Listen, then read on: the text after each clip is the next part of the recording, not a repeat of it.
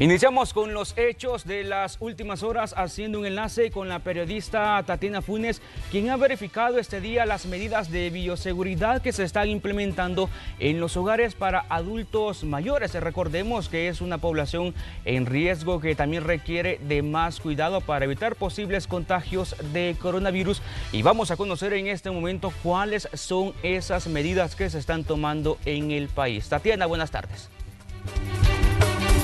Muy buenas tardes. La pandemia del coronavirus nos ha obligado a limitar el contacto con nuestros seres queridos, en especial con los adultos mayores. Pero en el hogar Jardín de los Abuelitos se está implementando una serie de medidas y protocolos para reducir el riesgo de contagios y garantizar el contacto físico seguro. En la siguiente nota les muestro los detalles acerca de esta iniciativa.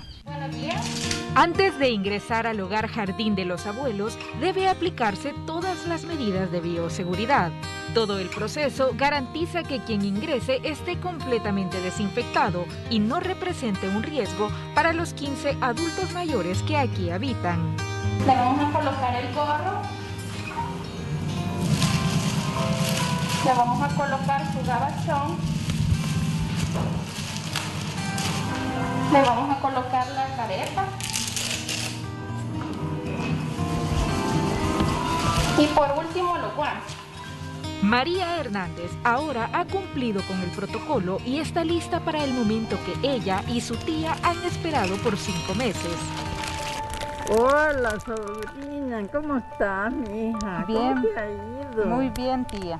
Ay, me alegra verte, muchacha. Ya días no te veía con este problema que tenemos, ¿verdad? No es un abrazo cualquiera. ¿Cómo se siente? Bien, gracias a Dios. Es un abrazo que muestra su amor y compromiso para prevenir que su tía Celia enferme por coronavirus. Acá se ha colocado una cortina de plástico con cuatro orificios para introducir los brazos. Al interior, doña Celia también porta guantes especiales que le permiten el contacto seguro con su sobrina.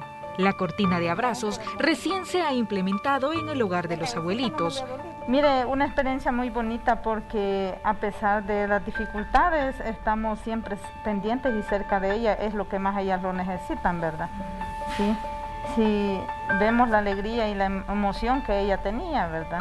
y ya ha hecho un cambio en su estado de ánimo. El tener contacto físico con sus familiares representa una de sus más grandes alegrías en las últimas semanas. permite este, disminuir los niveles, como yo le mencionaba, de ansiedad, tanto del familiar, porque los familiares pues hablan con ellos constantemente, como del paciente, y eso nos permite una barrera eh, desechable, ¿verdad? Y a la vez segura para que puedan estar en contacto ellos. Pero esta no es la única medida que han puesto en práctica para garantizar la salud de sus residentes. También se ha creado una burbuja con todo el equipo médico y personal, haciendo incluso esfuerzos familiares.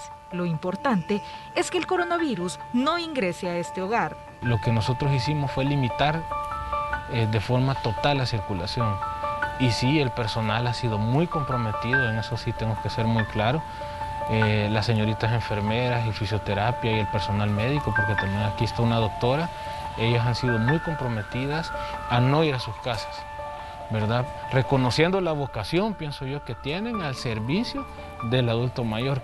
Y el director médico de este hogar nos ha explicado que ya se está trabajando en protocolos que permitan recibir visitas a todos los abuelitos que se encuentran resguardados en este lugar, pero que por supuesto deben garantizar todas las medidas de bioseguridad. Así la información que tengo para compartir con ustedes y devuelvo la señal hasta los estudios. Muy buenas tardes.